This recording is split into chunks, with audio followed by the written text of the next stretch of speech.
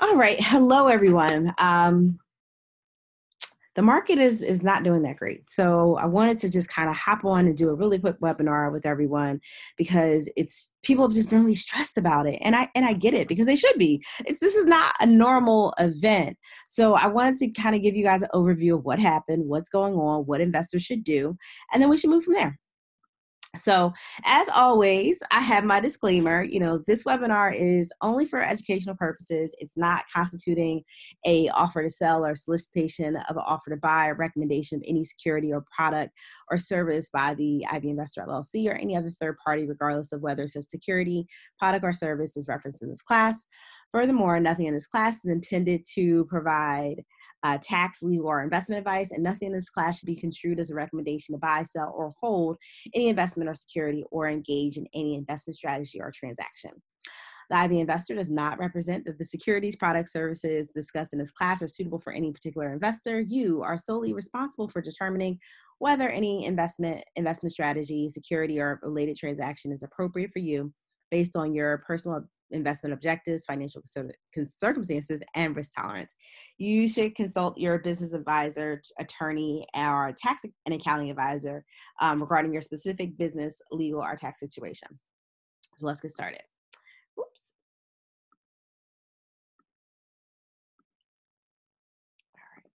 So, who am I? So, my name is Courtney Richardson. I am the founder of the Ivy Investor. I am a so you probably are like, okay, well, that's fine, but who, what like gives you the right or the authority or the information to be able to talk about stock market issues um, in any like detail? Well, I'm a former financial and investment advisor for one of the top brokerage firm, firms in the world. The stock market crashed on September 29, 2008, and I was working actively as a advisor at that time. But um, as we'll talk about later, I saw it coming. We all kind of saw it coming. We didn't know what, exactly what day was going to happen, but the market was was kind of on its last legs when the market actually finally did crash. I've been teaching um, students how to invest in the stock market for about six years. I'm an investing in cannabis expert.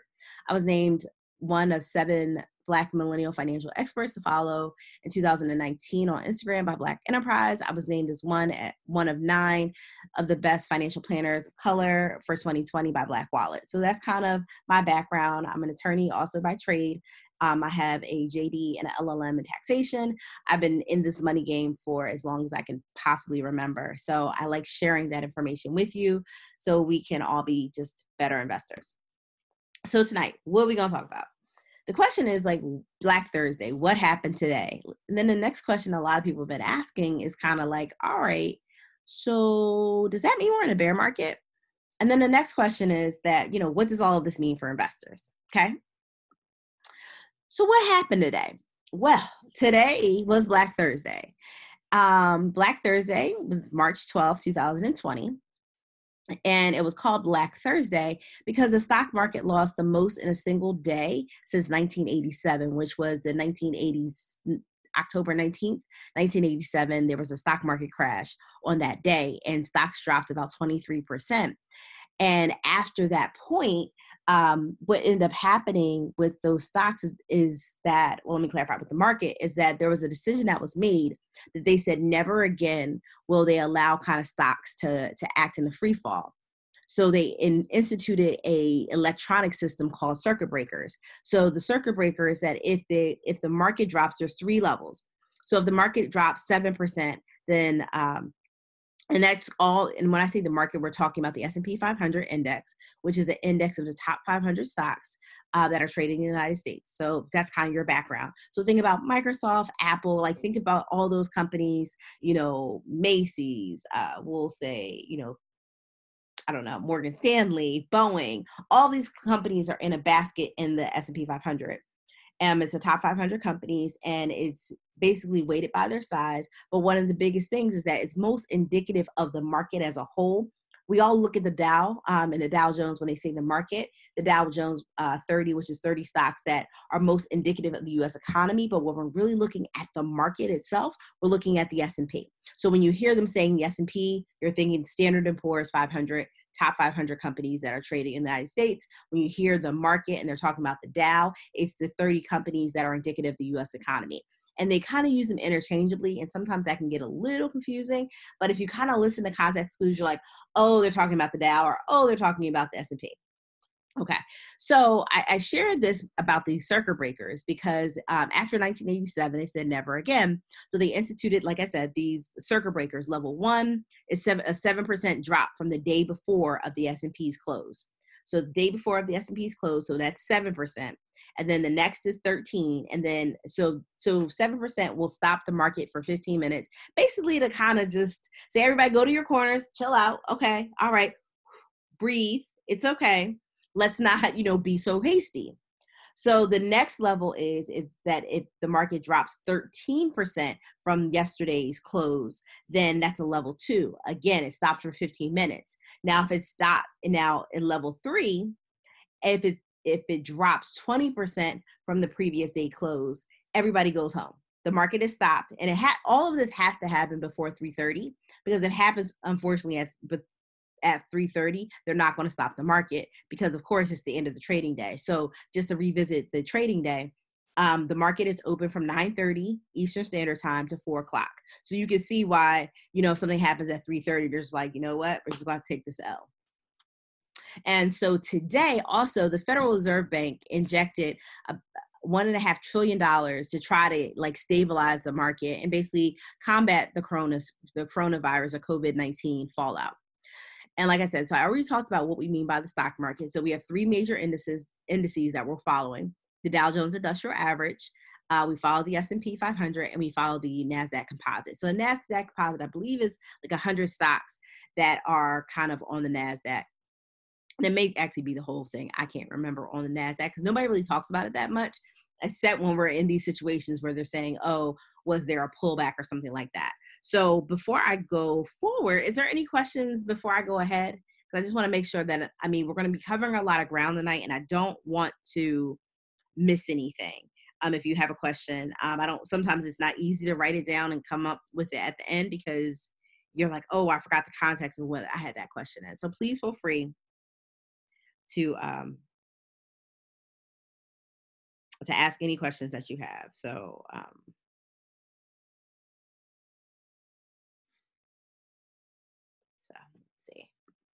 So here's the big question that everybody's been asking, they kind of know why um, this has been going the way it's been going, but I think we need to put it in perspective.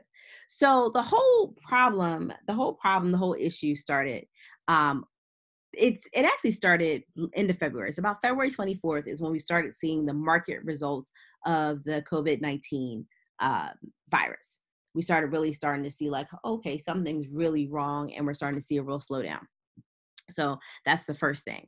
So with um then so the when we're starting to see the slowdown, people are starting to get concerned because they're like, hey, you know, China is really a big portion of the supply chain. Basically, you know, a lot of things are made in China. You know, this iPhone that I have here, a lot of the parts are made in China. We'll talk about some of these Chinese exposed companies um, a little bit later in the conversation. So yeah, there's a lot of companies out there that have China exposure, and people started to get very nervous.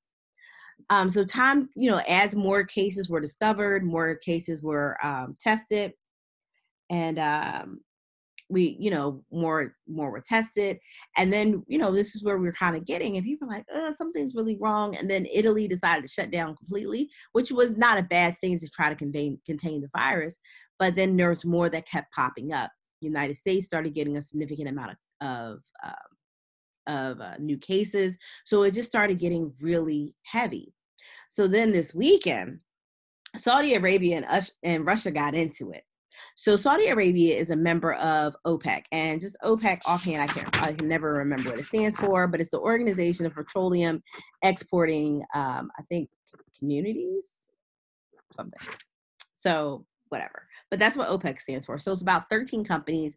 Saudi Arabia pretty much is like the big dog of the OPEC companies and they have like OPEC friends. Like it's OPEC and friends. So they'll call OPEC like allies OPEC plus, and Russia is part of OPEC plus. So because of this global slowdown that they've seen in factories and tra- and the lack of travel because of what's going on across the globe, um, oil demand has gone down. So when you, when your demand goes down, what goes down with it?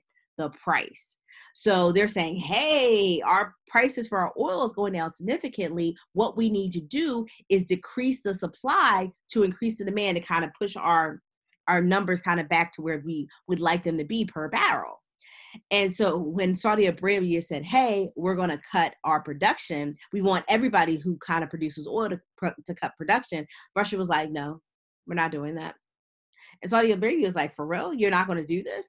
And Russia's like, "No, no, we don't want to do that." So Saudi Arabia said, "Hold my beer." what we're about to do is this. So they actually offered a disc, they started moving their oil at a discount. So because they're like the biggest producer, they're like really kind of messing up the the whole economy in the market um, in terms of oil. So that kind of popped off over the weekend. So let's put it all perspective now. You have the coronavirus or COVID 19 going on. It's kind of really starting to d- disrupt the world. Then you have this oil thing going on. So now they're beefing. And now we, ha- and that actually caused the oil prices to drop even more because of this whole discount. So now we have oil prices, you know, we have COVID 19, we have oil prices going down, and this is over the weekend. So, whenever there's some mess over the weekend or overnight, please expect the market to be down. And as we were starting to see the market slide a lot in the last two weeks, I was like, mm, I think, and this is on Monday. Monday, I was like, uh, I really think that there's going to be a problem. So, needless to say, there was a problem. Remember how I talked about the circuit breakers down 7%? Down 7%, the circuit breaker came on as soon as um, the market opened and the and the way that happens is that people will put orders in after the market closes and they execute first thing in the morning. But if everybody's trying to sell it's going to push down the price. Remember we were talking about supply and demand. So they're going to push push push push push down the price. And before you know it we hit 7% down. So the market the circuit breaker exercise and it was the first time it's exercised i believe in like almost I want to say like 20 years. So it's been like some time that this has ever happened. So it's that's kind of it's not uncharted territory. And a lot of people have been saying that. Like history, as if you've been in my classes before, I say history doesn't repeat itself, it rhymes. So it's been rhyming and we it's just not been going very well. Um, but it's some stuff that we've seen before just in a different way. And then finally, we have some recession fears. Um, now, and it's it's kind of hard with a recession because a recession you can only tell that you you were in a recession by looking back going, oh, okay, the last two quarters we had declines of gross domestic product. That's what a recession is. But you don't know that until you're in the third quarter looking back on the other two. So that was kind of another thing, kind of fueling the whole fire is that we have all this stuff going on. A lot of uncertainty. People do not like uncertainty. Boom, there goes your market. Okay, that happened on Monday. But remember what happened last night? The NBA shut down. President Trump said, you know, we're not going to be taking, you're not taking anybody coming in from Europe. So a lot of that increases the fear. And again, people are like, oh, I'm out, I'm out, I'm selling. And that's what happened today. So the circuit breaker came on again. So this is the first time like consecutive circuit breakers happened in the trading week. So yeah, now we're starting to get into like, not necessarily, I wouldn't, it's still uncharted, but I don't think when people say uncharted, I think people get very panicky. And I don't think like I don't want you to panic. Like even if the bottom completely falls out, do not panic because it, it makes it worse emotionally. So um so here's the thing that I want to talk about next is that we've we've kind of hit on these other things that are going on. And then we have some companies with China exposure.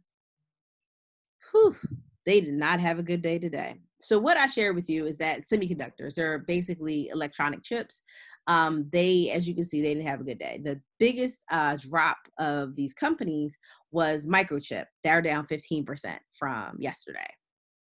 That's a lot. Um, Qualcomm, I actually talk about Qualcomm and Qorvo um, in my five investing in 5G class. So again, like these are things that you should probably pay attention to and try to figure out exactly what what's next for these companies. Um, you know this is kind of like a glip a blip a blip or a glitch or something that will over time re- like resolve itself? Or are these companies not strong enough to withstand some kind of like uh tumult- tumultuous like um economy issues and experience? Like so there's that question. But here's a random one that has has 67% of china of revenues coming in from china. Wynn company so I gave you guys a picture of when I went to Atlanta. I went to Vegas um, in September. So that's not my picture, but it's a great picture. Um, Wynn is actually like a big casino and gaming resort. So they actually get a lot of money from China. And as you can see, they were down 15%. And I think they were down 15%, not be, just because of their China exposure, but also because a lot of people have not been traveling. Um, so they're certainly not be traveling to places where there's a Wynn resort. So just kind of keep that in mind. So these are the things that you're going to start seeing. And people are like, you know, is this a time to buy it? I'm like, uh, I don't know because we don't know what's going to happen like is Wynn you know financially sound enough to kind of withstand the storm or are they over leveraged with a whole bunch of debt like a lot of companies are out there um so it's it's really a lot of things going on. So um, i definitely like to share these things. Now in the semiconductor space same thing but they're in a space that's growing. They're in the 5g space so that may be a little bit different for them. But again you have to do your research to figure out exactly like of the companies that are down is this a down because everything is down and everybody's like oh my gosh or is this like basically are the prices coming back to life? You know that song back to life back to reality i'm not going to sing. But it's kind of that whole thing like did they come down and they're supposed to be down like they are or you know or are they um or is it kind of artificial drop? You just don't know yet. You have to know a little bit more about the industry to know those things. I tell people this is why i tell people invest in what you know. Just don't go willy-nilly buying whatever because you think you should be buying. I want you to be smart and strategic investors. So the question um the next question i want to address is you know are we are we in a bear market? Yes we are we are definitely in a bear market. So a bear market is when prices fall 20% or more from its 52 week high or the market's 52 week high. So in terms of bear territory, we hit bear territory in the Dow Jones uh, the Dow Jones Industrial Average yesterday. Today we hit it in the S&P 500 and the Nasdaq Composite. They're down 20% from where their 52 week high was um, also so we're in a bear market so market sentiment is like widespread pessimism fear all of those things. Um, but interesting enough like i said the, the market the 52 week high was like less than a month ago. So this is kind of like really? So I, I, tell people to put these things in perspective like you know I, I really look at the market i should have given you guys a picture of jenga. I look at the market like jenga. When it was that high i was like this is people are like oh my gosh the market's so high and i was just like I've been here before. No, no, I'm I'm good. You know, and I started like being strategic about what I was looking at, what I was kind of considering to be um, some moves. And I was really upset with Robinhood because I actually put in, I believe I put a call in or I forgot what I did, but it didn't execute because it basically ran right through. Like Mar- Robinhood went down maybe last week before last, and I couldn't like execute my trades, and I was really upset because it's a tra- account that I don't use regularly, but it was like my play account. I was like, oh, this is great, and I was like up three hundred dollars. I was like, come on, Robinhood. So that was really frustrating. So before this, we hit this bear territory. We are definitely in a correction. A correction is 10% down. And maybe last time I had a conversation, we were about 15% down from the most recent high. So almost the bear market. So the question is, um, let me just kind of look at what the bear market looked like kind of over time. So, if you know anything, and I kind of talked about it before, September 29th, 2008 was the day the stock market crashed. I believe it was down about 8.9%. And I don't have my pen. And if you know my classes, if I, whenever I pull out that crazy pen, it like never goes away. So I'm not going to touch it. But if you see to the left, this September 22nd um, is over here. And then you kind of see this this uh, drop here but then there's a little bit of a recovery and then it kind of comes down here. That is the day of the bottom of the market. The mon- market actually bottomed out um, in March of 20, 20, 20, 2009, excuse me. So the market bottomed out six months later. So a lot of people like, should I buy now? And I'm like, ah, hold on.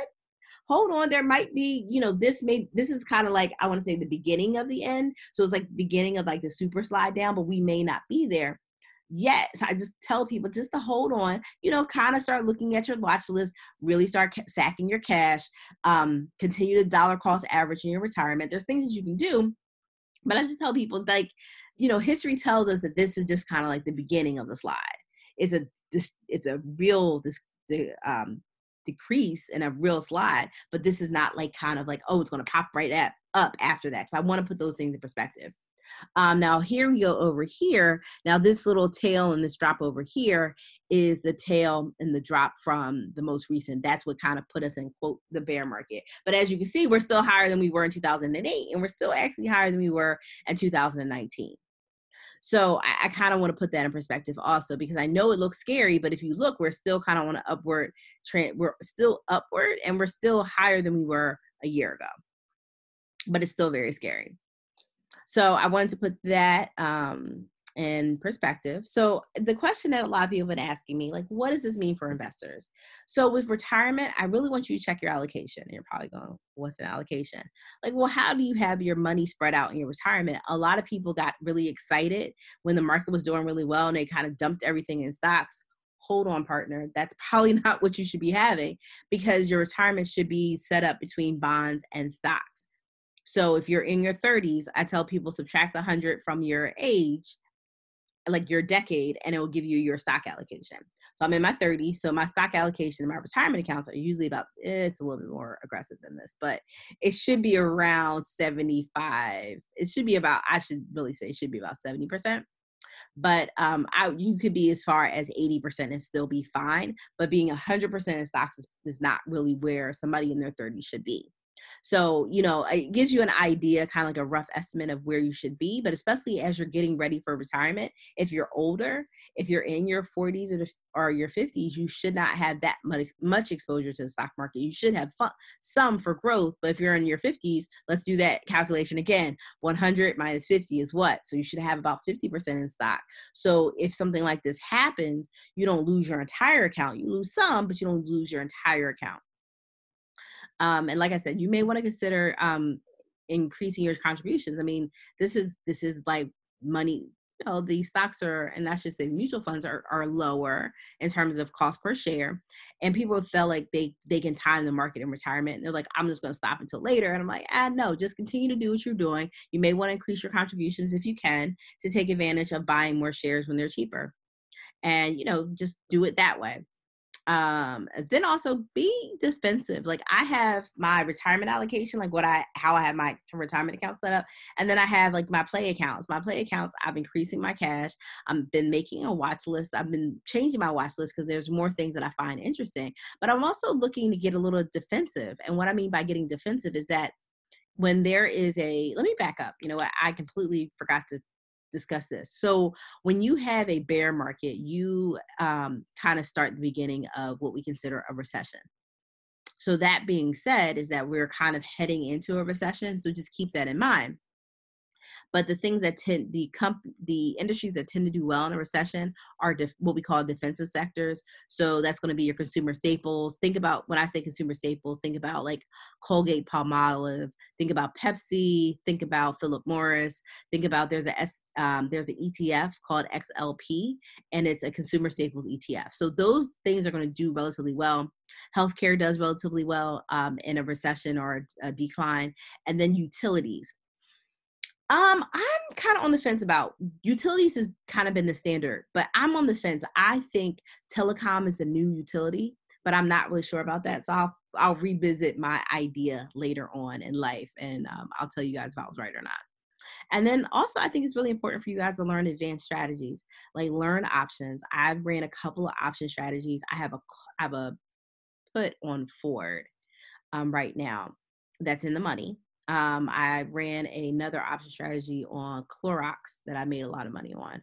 Um, I'm trying to think. There was another one that actually didn't go through. I think it was on um, Advanced Micro. It was on AMD, but it was the day that my um, that Robinhood made a mess. So either way, but that's another way for you kind of bet on the stock market when you understand what's going on, but you don't have to put up a whole lot of money. So options, just uh, kind of as a, a overview, is that it's basically 100 shares of a stock but it's not it's based on 100 shares but it's never going to be the full amount. So for example if i i have a, a put option on ford and i think i paid like $30 or something um i don't i didn't pay much at all. Um, so sharing that, you know, if I would have bought 100 shares of Ford, I probably have spent $900 or seven hundred dollars or whatever it is to that. No, actually, it's like five something. Um, so five hundred dollars. So I spent thirty dollars for an, an option um, to actually buy Ford at a lower price. So it's just. It, I'm not going to get into the options aspect, but it's another way for you to to actually play on the stock market without spending a whole bunch of money, like buying a full stock, a full full hundred shares of stock. Um, also learning how to trade trading is a great thing to do. Now, you can trade the market when like everybody's there's money to be made everywhere. It's just how you know how it's how you actually learn how to do it. A lot of people don't want to trading takes time. You have to like learn what you're doing. A lot of people don't want to put out that time, but it really does pay off. So those are the things that you can do as an investor. Any questions so far? I don't see any. Okay. Oh, I see someone's raised their hand. Hold on. Figure out. All right.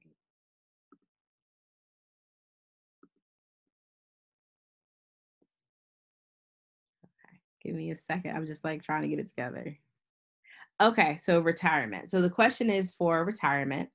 Um so is so the question is um, for retirement is it better to keep contributing at pre-tax at the stage or switch to roth. So here's the thing uh, where you put your retirement money in terms of taxes actually really depends on not the market but what's going on with you personally tax wise so there's a lot of people who make a decent amount of money and they need to reduce their taxable income. I'm always going to suggest their first place is that they put more money in the pre-tax bucket because it reduces their taxable income. So that's one thing. Um, but it also depends on how much time do you have to retirement. So a lot of the things that would make you decide if you want to do a Roth or pre-tax contributions depend on your income and depends on your time to retirement. The longer time that you have to retirement, um, the better it is if you have some after-tax money, which is your Roth account um, just keep that in mind. So it just really depends. I would definitely sit down since it's tax season, sit down with your accountant and have that conversation with them about what would be best for your financial portfolio. Um, so again, it's um, so I think it, a really good question is is that hey, if you have 25 or more years, you may want to consider a Roth, but it also more so depends on how much money you make to say, okay, well, I want to put, you can always put some money in a Roth, but it, it really may affect your tax burden. Because the way the tax, the TCJ, the Tax Cut and Job Act really kind of messed a lot of people up. So they ended up owing. So contributing to your 401k helps offset what you may owe because it's pre tax money. So I want you to put all of that in the mix. So I really want you to sit down and talk to a tax professional. So April asked me a question. So when I saw the market nearing all-time highs, um, did I change my allocation? Did I put more in bonds? No. So what I did do is I put some stop losses on. Um, now I was also in the middle of moving my accounts over. So of course I wasn't like I wasn't like oh the market's kind of being funky maybe I shouldn't move accounts over at this point because I was moving from Merrill Lynch to, to E Trade. So a lot of my stop losses did not carry over. So I was really annoyed by that. But it's it's life and it happens. So I really just put stop losses on the, the positions that I was long in. That's what I did. Um, you know, there wasn't too much because bonds and the problem with bonds is that bonds are so low right now because interest rates are so low. It's kind of like, eh, I'm not really doing much of that. So I'm just better off putting a stop loss on and keeping it moving. And then if I can add more money to it, then do it that way. Um, there are some short term instruments that you can use, but again, they're just not yielding that well. I hope that answers your question, April. So, um, any other questions? And you're welcome. Okay, so so here's the thing. So here's the, the opportunities that a lot of people have been asking about. Like, so opportunities that I wanted to talk about, like I said, is being defensive. You have some defensive stocks that I want you to look at. Look at defensive sectors. You have consumer staples. Think about makeup. Women, um, it's not to be sexist, but a, um, women or whoever uses makeup, whoever they may be, they're not going to usually cut back on their makeup. They'll usually cut back on something else, but they won't cut back on like their kind of everyday routine. So keep that in mind. Um, like I said, you have Colgate, you have Pepsi, anything that you're going to need on a regular basis. Like, no, you're not going to be buying steak, but you still need to buy a box of cereal you know, you may not be buying like the top brand of milk, but you still got to buy milk. So just kind of keep those things in mind. I'm also um, really just starting to learn some different tools and tools and tips and things to use. Like I said, meeting with traders, learning about options. Those are things that are really important, especially in this time. But a lot of people feel like they should have, like I tell people, you have to get ready, like stay ready so you don't have to get ready. And so in these cases, a lot of people are like, oh, I really wish I learned options. So you're gonna have to take your time and learn them, but just don't rush yourself into trying to learn something and then you end up losing money. So those are my things. So I hope you guys over the last 30 minutes that we had like a really good conversation. I hope that you think that has been times well spent so far that you learned a lot. Um, and like I said, I cannot, as you guys probably know, I can't cover everything that you need uh, to know about the stock market. Um, and I can, and I also can't really provide strategies in, in the Rocky market in the this Rocky mar- market in about the last 30 minutes. It just is not going to happen. Um, so, but that being said, is that I have a special offer for you guys to know what you can, what you need to do, and what you need to know to get started.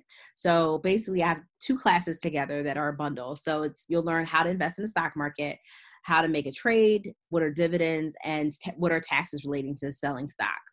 Uh, but then also I had the class understanding bear market strategies. So how to protect what you own, like I said, putting in those stop losses, um, how to capitalize on index movements. We talk about in, inverse ETFs. So if the market's going to go down and you're like, hey, I want to like get take advantage of the market, but I don't want to do an option because I don't feel comfortable yet. You can do um, an inverse ETFs. So I talk about those, and then finally I talk about puts. So you can take advantage of stocks going down with puts. So what you'll receive is that you have the one hour class with an unlimited replay with periodic updates. Um, it usually runs, it runs for about $97, but it's a really good deal at $97, I think. But on, but more importantly, because of the times and everything that's going on, I basically have it scheduled for $67 today because I feel like, you know, it's it's been hard. It's been really rough. Um, and and I feel like you want to i want people to learn but you know i want you to be able to learn and it's not going to be cost prohibitive to do so. So you guys can um, take the class at teachable and um, so i will definitely share that to, with you and you guys get a code and it's called bear market 20 for uh, the stocks 101 uh, class which includes the bear market strategies. And i always want to hear your commentary so if i need to add anything you know, I always will add something in and shoot an email saying, "Hey, added this module. Let me know what your thoughts are." And then the code is bear market twenty, and it's only good until Sunday. But that's that's pretty much it. But if you guys have any questions, please let me know. I want to just talk about Kinetta's um, comment. She said that she or he converted um, their 401k to the Roth because it's a and the tax accountant told you to spend the contribution. So it just it like and that's perfect. And I'm so glad you said, and my tax accountant said. So that's perfect because again, I want everybody to run the numbers and we can conceptually talk about how these accounts work, you know, who would probably be best served by moving money this way or that way, but always run the numbers because sometimes, and I've had this happen to me, I'll think one thing, I'm like, yeah, I'm going to go do XYZ. And I'm like, run those numbers. I was like, no, I'm not. I'm not going to do that because I ran the numbers and numbers told me it didn't make sense. So, like I said, I would really, does anybody else have any questions or comments? I definitely put the link to the Ivy Investor classes in the Teachable. Um, and I also gave you guys the Bear Market 20 code. So let me know if you guys have questions. I'm really here to answer whatever you have going on because it's, it's a lot. It's a lot to talk about and it's really hard. So anything else that anyone has any questions about? Okay. All right. Oh, wait, somebody does have a question. Let's pull it up. Um,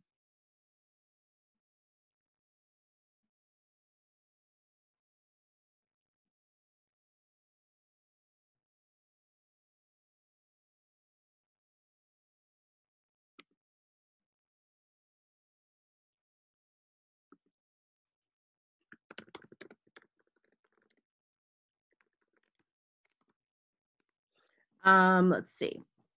So Chandra asked if it's wrong to switch and do a backdoor Roth. So it's it's not necessarily wrong to switch to do a backdoor Roth, but I think it's it's not necessarily a bad thing, but it has to make sense for your financials picture. Because remember, when you do a backdoor Roth, let me back up. Let's talk about what a backdoor Roth is. So a backdoor Roth is when you contribute money to a traditional IRA, and then at some point in the future, you switch it over to a Roth IRA. You usually do a backdoor IRA. Um, let me back up. So you Roths have a contribution. They have a annual adjusted gross income limit. So if you make, I think, as a single person, about $137,000, you cannot contribute to a Roth IRA. Um, if you're married, I think it's 200,000 that you can't contribute to a Roth IRA, like your combined income. So I, I do share that with people. So again, so it normally people will do a backdoor Roth IRA if they make over those thresholds of 200,000 if they're married or 137,000 um, if they are if they are single. Now, granted, but I think between 130 and 137,000, it kind of even phases out how much you can contribute to the Roth. So those are the things that happen when you kind of start making, you know, um, over six figures. But that being said, if you contribute to a, a traditional IRA and then convert it, then you get the benefit of having the Roth. But again, it depends on how long the account's been open that you do this conversion because any growth, it, the whole entire account will be taxed. And any growth that it's had in that account it will also be taxed. So it's it's kind of all those things that you have to really walk through the numbers and see if it makes sense for you. Um so i think that was one question. I think i see one more question So, um, really good question. So, there's a question that says that um, they're new to investing and they have a watch list on Robinhood, but they haven't purchased anything. And the bear market makes them want to jump in, which is great. And they were asking, you know, uh, I did say to wait because uh, this is kind of like the start of the slide to probably lower prices. So, yeah, so I, I definitely, yeah, so that's a really good question. And, and I think, you can start looking. And if you want to buy, you're more than welcome to buy. I just try to put in perspective to people, for people to say, hey, you know, this is kind of, if we just started entering a bear market, this is probably not our bottom. Now, granted, I don't want you bottom chasing because nobody really knows where the bottom is. Like I couldn't have told you when, um, when I was working um, in 2009 because I was laid off in March of 09. I couldn't have told you that was the bottom of the market. I couldn't even told you. So, and I'm not saying that, you know, no one has a crystal ball, but I want people to kind of be just mindful and then saying, hey, am I comfortable with paying this amount of money for this particular stock? Um, and that's kind of where I want you to do. So if you want to buy now, then that's fine. But I think there's an opportunity in some cases, not all, for the for those prices to go down but again if you feel comfortable buying now then go ahead. You know and then you may want to say you have a thousand dollars to spend you may want to say you know what? I'll put five hundred dollars in and then i'll wait. I'll use my five hundred dollars later for another opportunity. You can do that. Maybe do 250 or however but i want you guys to like the one of the things i've noticed that people get very fearful and they're like, "Oh, I'm so afraid I'm to make a mistake." You're going to make mistakes. I made mistakes. I've been investing since 2004. I made plenty of mistakes. You're going to make them. You know, just take your time and be patient with yourself. So if you want to put in maybe 200, 250 out of whatever you have, that's great. Get started. And then you say, "You know what? I feel comfortable. I'm really excited." So you can do it that way. Um, so let's see. So I'm just looking at a couple of different questions in here. So um, is the question is, is it okay to purchase long-term dividend paying stocks that they're um, in the bear market? And let's see. Oops. So uh, I'm just trying to read it. Um, so see, um, they switched their account from a 401k, which is a pre-tax account to a Roth IRA, which is um, possibly why she would owe taxes and receive and not receive taxes, even being a new homeowner with three child tax credits. It depends. It really depends on um, the numbers on your personal financial situation. You, I mean, I, I, don't know. I can't really tell you. I mean, there's certain things that would do an offset, but it depends on how much money you convert it from a 401k to a, a traditional, um, excuse me, from a traditional 401k to a Roth IRA. How much money did you do that? And remember, the taxes completely is going to be at your ordinary income rate. And if you didn't pay enough taxes, even with your credits, you're going to have to owe. But I don't know what your full tax situation is. So in those cases, I always tell people to meet with your accountant. And I tell people to meet with your accountant before you actually make the conversion because you cannot unring the bell. And that was actually a new rule under the Tax Cut and Jobs Act. Like once you do a conversion, you can't convert it back. So always tell people kind of, you know, measure twice, cut once do it you know find out what you need to do have a conversation have a couple conversations with your tax accountant run the numbers before you actually do the conversion. So um, let's see. Oh i think it's awesome if you're you contribute monthly and you're an investment club. Um, now i do know that options are kind of scary. I will say they're very intimidating. Um, i always tell people you may want to do a covered call strategy you know do some covered um, as opposed to naked options because they they are a lot safer and they're they're fun but you have to kind of just jump in and um, trust yourself and and don't spend a whole bunch of money you know and you're saying okay i won i got some money off of it great. If not then then you didn't lose a lot but you're starting to learn. And you may also want to do the thinkorswim um, simulator to kind of start you understanding how it works as opposed to like kind of putting your real money up. So um, see, Miss Washington, Letitia Washington said that she's um, in the beginning phases of investing. She's still learning about limits that set a duration. Um, let's see. Um, buying two to three stocks at a time is that a, a strategy for um, beginners in a bear market? Well, it depends. Everything depends. Um, I tell people all the time is that you have to feel comfortable whatever strategy you have. So if you feel comfortable in that you're mastering your strategy, then you're great. Um, if not, then we have some, you know, you may want to try to change the way you're going about it. So I would definitely kind of take your time. Um, and then with your limits now are you talking specifically about limits in terms of options or you're um are you talking about going long because that because that also depends on like kind of what my advice is for you and how you kind of move forward and kind of start working through so let me clarify that for me and then we'll kind of come back so let's see um, Chandra. I was looking at Chandra's comment. She said the options are scary. And then she took um, classes and she did a simulator and it just made her dizzy. I agree. When you kind of learn options, you don't learn with all of that stuff. And you're like, what are you saying? And it says like blah, blah. It says da da da call XYZ price. And then it gives you a number. It doesn't even tell you it's a price. It's like gives you a number and then it says something else. You're just like, what? what are you saying to me? so you're like, even if you understand the strategy, you can't quite do it like you would like to because like the whole options, you know, chain doesn't make sense. So I get it. So I definitely understand. So the simula- simulator is on um, thinkorswim. It's um, a TD TD Ameritrade. They it's their simulator. So I'm just trying to make sure I have everybody else's. Um, let's see. I think we have everybody else. Any other questions? Any other questions before we log off? I hope everybody got some value. Um, I will send this up.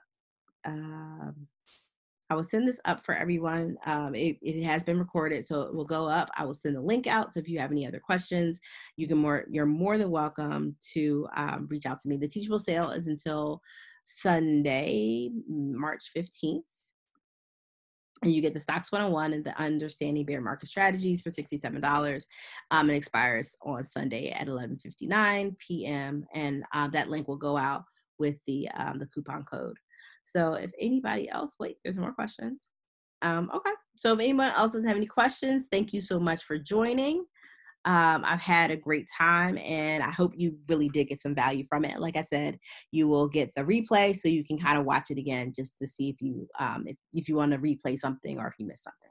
So have a great one.